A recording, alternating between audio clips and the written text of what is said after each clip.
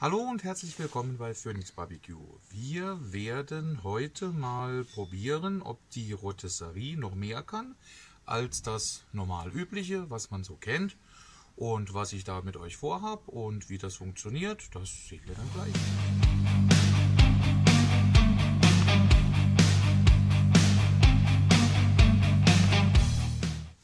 Ja, und dann würde ich sagen, wir gehen einfach mal runter an den Tisch und dann kommen wir, denke ich, auch gleich zu den Zutaten. An Zutaten für unseren Teig brauchen. Wie gesagt, die genauen Mengenangaben gibt es nachher in der Infobox.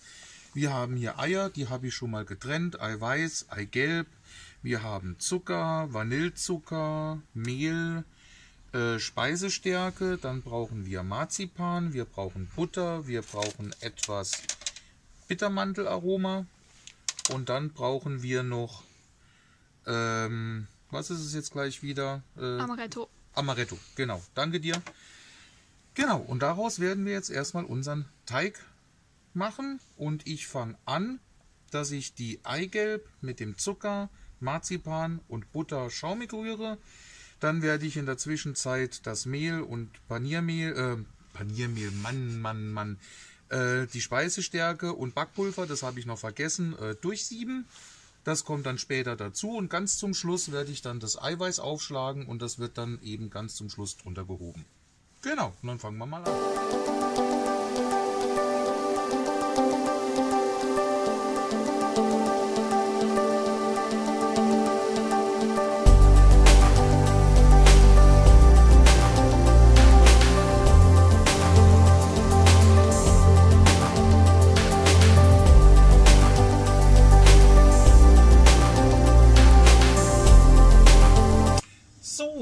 Ihr seht, ich bin schon am Grill. Ich habe meinen Teig hier umgefüllt in so eine kleine Konsisform. Hier oben dreht jetzt richtig schön meine Rolle vom Heckbrenner. Und jetzt werden wir das einfach mal ausprobieren, ob das jetzt nur mit dem Heckbrenner reicht, ob wir den Deckel schließen müssen. Das werden wir dann sehen. Und jetzt fange ich einfach mal hier schön an. Einfach hier wild was auf meine Rolle drauf zu streichen. Wie ihr seht, ich habe jetzt die Gitter hier unten raus.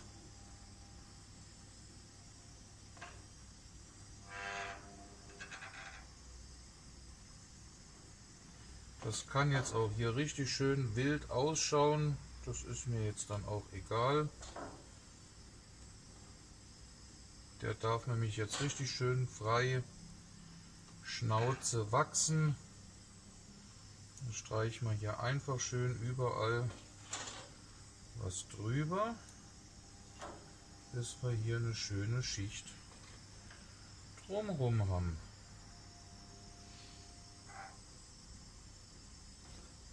Ah, da kommt jetzt noch eine Stelle. Wie gesagt, ich mache das jetzt auch zum ersten Mal. Ich bin jetzt auch gespannt, wie das funktioniert und ob das überhaupt funktioniert. Aber im Moment macht das einen guten Eindruck. Die Kamerafrau nickt auch.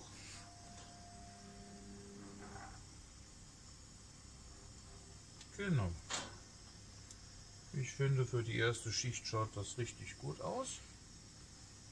Und jetzt hätte ich gesagt, wir lassen den jetzt einfach hier drüber drehen und backen, bis die erste Schicht richtig schön goldgelb-braun ist. So, die erste Schicht ist jetzt so langsam. Jetzt kommt hier schön die zweite Schicht oben drüber.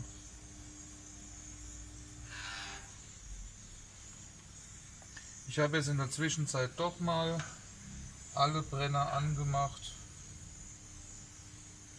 Mache jetzt aber den vorderen aus. Ui, das wird mir dann doch ein bisschen zu heiß jetzt. Jetzt tropft es natürlich ein bisschen runter.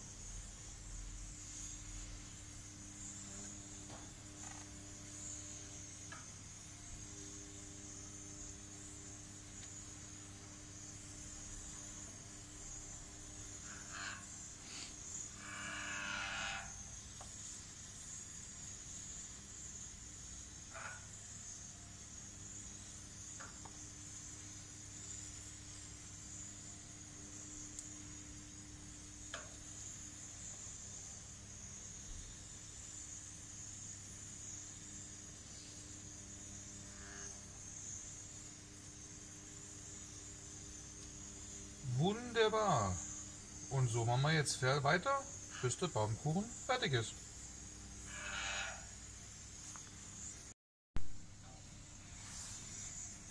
So schaut die zweite Schicht aus und ich habe jetzt bei meinem Rumexperimentieren festgestellt, wie gesagt, dass es doch besser ist, wenn die unteren zwei Brenner noch mit an sind. Die mache ich jetzt kurz aus. Dann mache ich die nächste Schicht. Mit Handschuh natürlich, weil das ist natürlich jetzt heiß.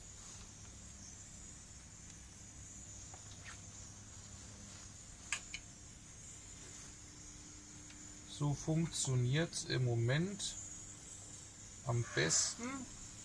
Ich meine, da müsst ihr dann selber auch ein bisschen rumexperimentieren, je nachdem, wie heiß euer Grill ist, wie heiß euer Heckbrenner ist, wie weit, ja.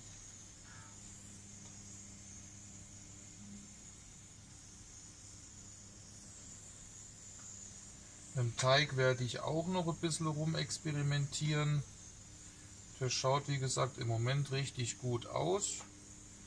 Aber da kann man bestimmt auch noch das ein oder andere an der Rezeptur verändern.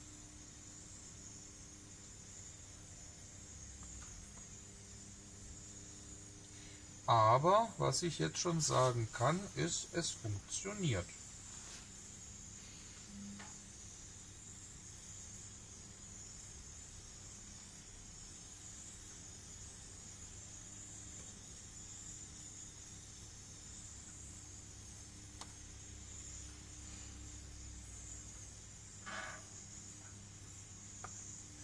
Hervorragend. So, wie ihr sehen könnt, ich bin fertig.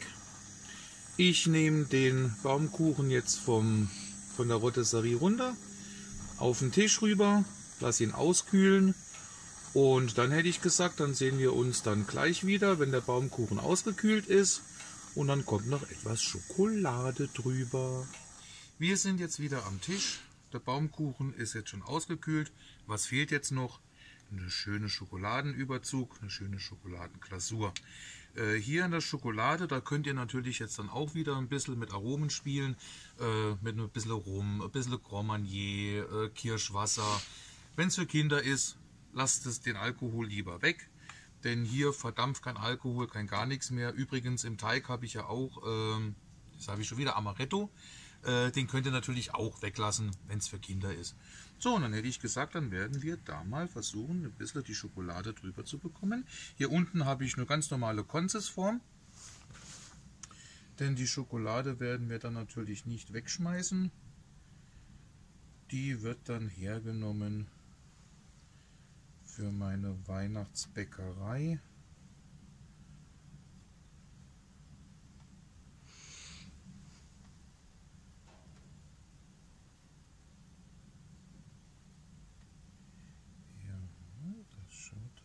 richtig gut aus, finde ich. Ups.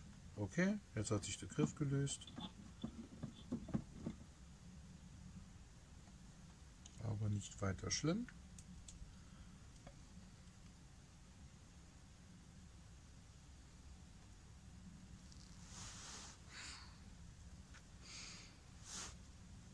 Und keine Sorge, das ist nicht die einzige Schokolade. Ich habe hier noch eine Schüssel stehen wohlweislich.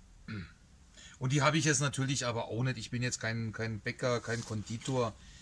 Äh, jetzt nicht so temperiert. Also ob die jetzt dann nachher richtig schön glänzt, das sei jetzt mal dahingestellt. Aber wir sind ja keine Bäcker oder Konditoren oder sonst irgendetwas.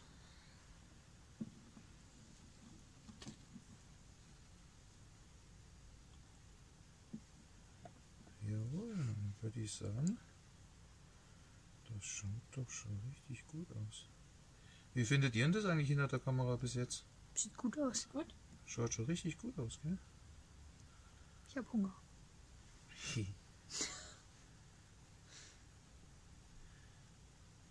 Gleichfalls, das habe ich auch.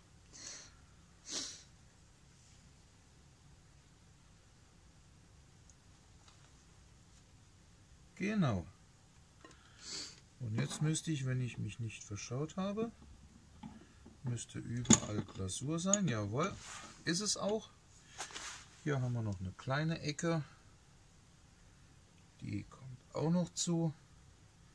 Und dann hätte ich gesagt, die Schokolade lassen wir jetzt auskühlen, dass sie richtig schön hart wird. Bei den Temperaturen, die wir im Moment gerade haben, äh, denke ich, wird das nicht allzu lange dauern.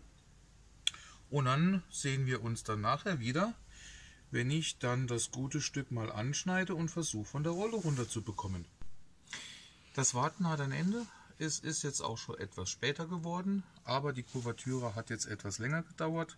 100% fest ist sie noch nicht. Ich denke mal, so eine halbe Stunde könnte sie noch brauchen, aber nichtsdestotrotz werden wir jetzt einfach mal versuchen, den hier runter zu bekommen. Jetzt gehe ich mal mit dem Messer hierher.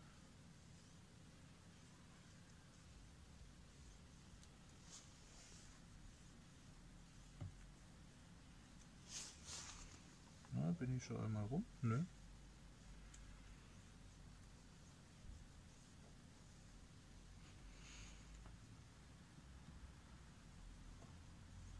Oh, Schokolade ist doch fester als ursprünglich gedacht. Sie knackt schon.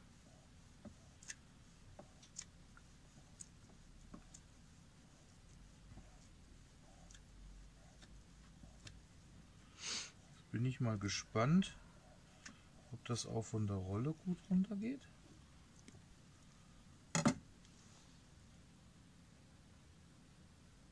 Ja. Hier am Ende hakt es noch ein bisschen.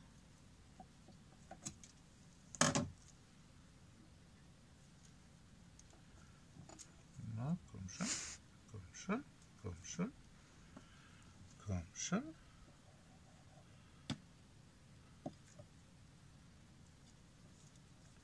Etwas sanfte Gewalt. Er löst sich, die Spannung steigt. Und ich sehe schon was, was ihr jetzt noch nicht seht. Das ist das Backpapier. Na, und ich würde doch mal sagen, jetzt gehen wir mal hier in die Kamera. Seht ihr das? Wie schön man jetzt hier die Ringe sieht. Ich würde sagen, echt perfekt. Ich will essen. Du willst essen, ja, das ist schon klar, aber ich will zeigen. Also das ist echt, also das ist echt der Hammer. Das ist echt der Hammer. Das lege ich mal hier aufs Brett und dann zeige ich euch jetzt mal nochmal hier den Spieß. Jetzt könnt ihr hier auch nochmal richtig schön die Ringe sehen. Also, ich finde, das schaut echt klasse aus. Und jetzt, ja klar, jetzt probieren wir den auch mal. Und jetzt bin ich gespannt, ob er genauso gut schmeckt, wie er ausschaut.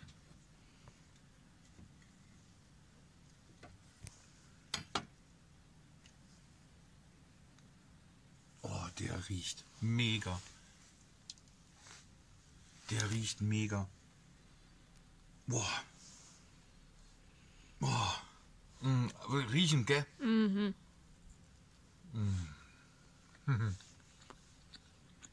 Boah, geil. Geil, ja. Boah. Das ist echt der Hammer. Mm, ja, oh. Erstmal essen, bevor ich will. Boah. Der ist geil, gell? Der Marzipan, Ja, gell? sehr gut. Finde ich auch. Ähm, zum Schluss ein kurzes Fazit. Ja, ihr müsst ein bisschen rumprobieren, wie es mit eurem Brenner funktioniert. Bei mir ging das jetzt ganz gut mit dem Heckbrenner. Die zwei mittleren Brenner habe ich ausgeschalten, habe dann den Teig drüber, dann die Schüssel weg, sofort die Brenner wieder angemacht, Deckel zu. Das hat funktioniert. Ja, da tropft auch was auf die Flavor Bars. Bei meinem Grill, bei meinem Sportgerät ist das jetzt kein Problem. Ich habe den jetzt vorhin, während hier die Kuvertüre äh, getrocknet ist, habe ich den 20 Minuten ausgebrannt und der ist sauber. Da habe ich jetzt noch ein bisschen Asche unten drin, die ziehe ich morgen mit dem, äh, mit dem Blech raus und dann ist das in Ordnung. Also vom Putzen her ähm, nicht viel mehr Aufwand wie bei allem anderen auch. Lohnt sich der Aufwand? Also ich würde sagen, der Aufwand lohnt sich. Ganz klar, Daumen nach oben. Ähm, ich kann nur empfehlen, nachmachen. Was ich jetzt noch sagen muss, ich habe jetzt dann in der Zwischenzeit, wo ich vorhin den Teig gemacht habe, ich habe die doppelte Menge gehabt. Das schreibe ich euch aber auch unten in die, in die Beschreibung rein.